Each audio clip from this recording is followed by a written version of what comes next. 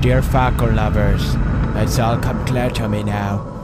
The rashes, the neck pain, the lack of nose scopes. I finally understand the truth of the situation. I'm a giraffe.